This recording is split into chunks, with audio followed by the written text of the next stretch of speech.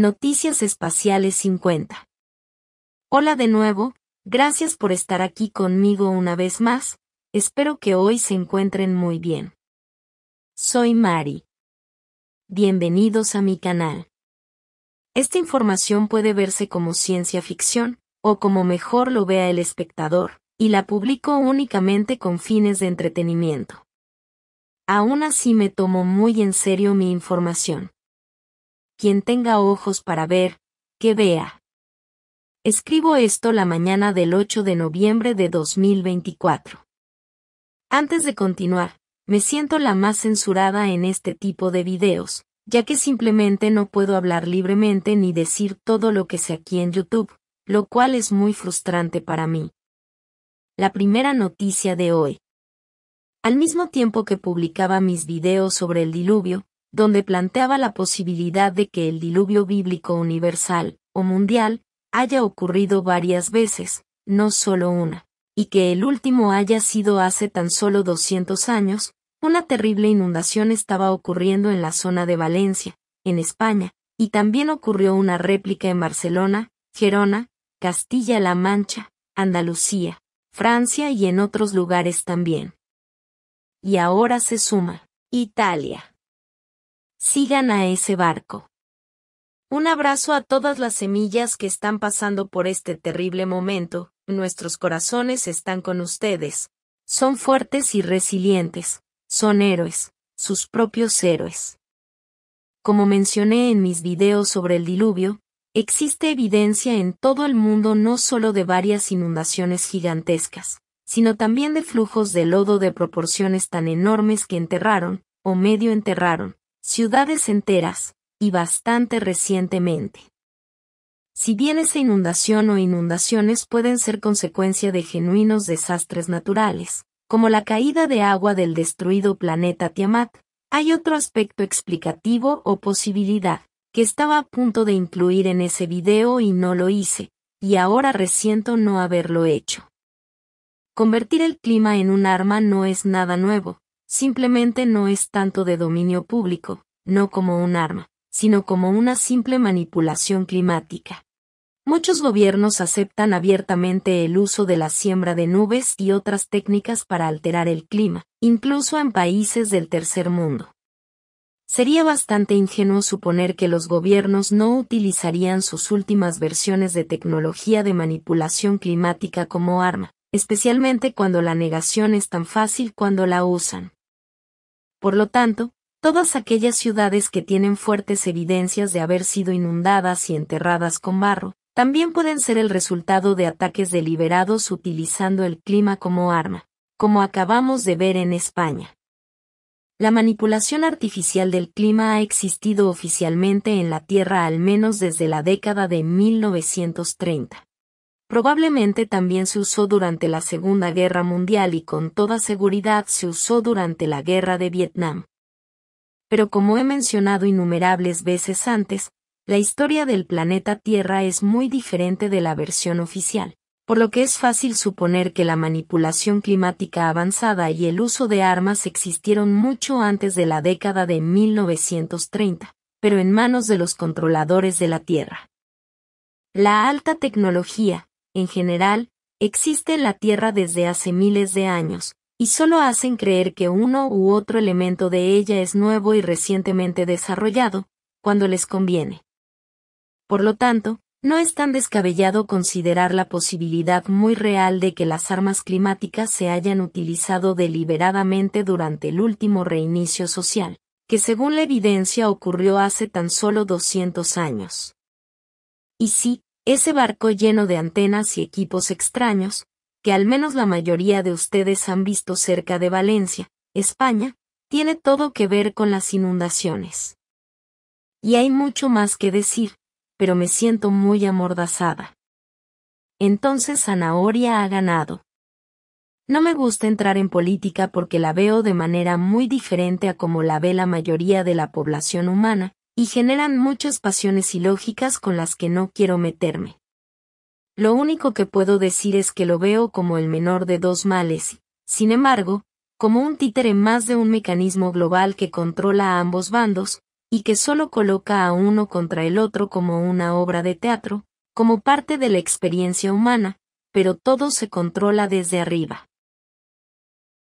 Como dijo Mark Twain, y cito, si votar marcara la diferencia, no nos dejarían hacerlo, y como nota al margen, existe un debate sobre si realmente dijo eso o no. Y como alguien más dijo, los poderes existentes nunca dejarían que el plebeyo decidiera quién estará en el poder. Desde mi punto de vista, todo es teatro. Causan un problema para venderle al público una solución y la política no es una excepción, es una distracción para la gente por lo que no pueden sumar los puntos para ver quién está realmente en el poder y controlando la situación de sus vidas. A los controladores de la Tierra les gusta atacar a la gente en oleadas.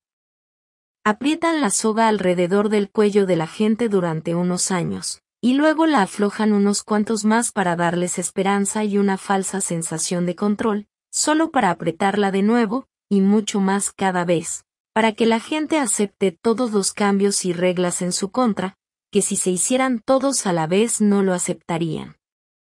También utilizan extensas tácticas de miedo contra la gente, por lo que regresan a sus reacciones primordiales basadas en la pura supervivencia, haciéndolos alejarse de la mente racional, provocando así una psicosis masiva donde las masas todas juntas pueden hacer cosas horribles que no son normales en sus vidas el ciudadano no lo haría nunca estando solo. La mayoría de la gente todavía asume erróneamente que lo que las masas creen es la verdad, ya que no tienen la fuerza para pensar por sí mismas, y como dijo y cito George S. Patton. Si todos piensan igual, entonces alguien no está pensando. Fin de la cita. Prefiero decir que si todos piensan igual entonces nadie piensa. No estoy a favor de ningún político terrestre, ya que soy muy consciente de lo que hay detrás de todos ellos y del enfermizo juego de la federación. Lo único que deseo es que al menos algo bueno le llegue a las personas. Terminaré este tema aquí. Otras noticias. Propuse la construcción de cuatro puentes en la ciudad de Toleca, Temer, dos nuevos hospitales, uno al norte de la ciudad y otro al sur, así como la construcción de otro rascacielos en forma de hoja, para albergar una nueva biblioteca pública y centro de datos. También propuse la construcción de un nuevo museo dedicado a los viajes espaciales taijeteanos, que estará ubicado en el espacio contiguo a la sede de la Academia Espacial. En el lado opuesto del edificio de la Academia Espacial, también propuse la construcción de un nuevo edificio de dormitorios, entretenimiento y sostenimiento para cadetes espaciales, con salas de conferencias, comedores y un centro de actividades de ocio. Todos han pasado la inspección pública y la población de la ciudad de Toleca ha aceptado todas mis propuestas de construcción menos una, uno de los puentes. Esto se debe a que se construiría sobre un área de manglares del río, que es un lugar de anidación de patos pigmeos, una especie muy linda que no se encuentra en la Tierra. Los adultos de esta especie rara vez crecen más que una paloma pequeña.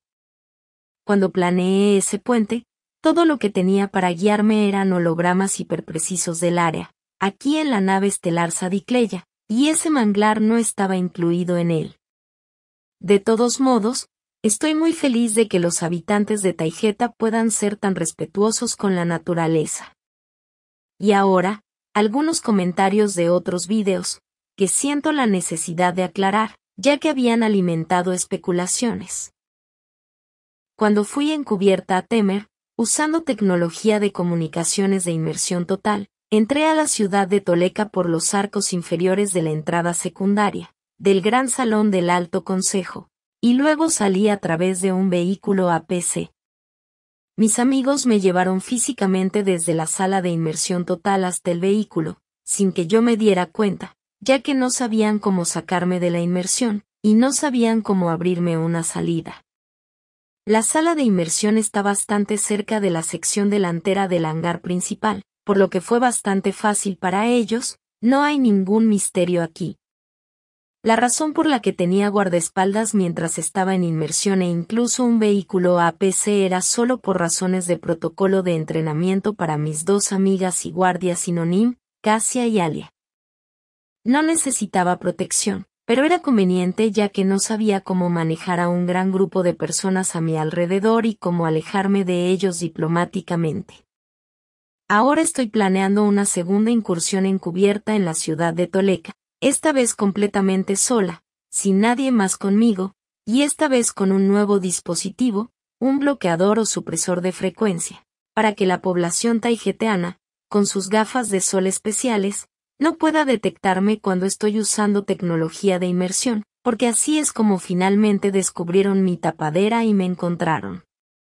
Esta vez entraré solo en un lugar predeterminado de la ciudad y saldré de la experiencia de inmersión total usando el mismo lugar, a diferencia de la primera vez donde me alejé arbitrariamente, sin pensar que tenía que regresar a mi punto de entrada. Esto será todo por hoy. Como siempre, gracias por ver mi video y por darle like, compartirlo y suscribirse para obtener más información ayuda mucho a que este canal crezca.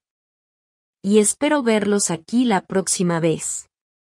Con mucho cariño y aprecio, su amiga. Mari Sua.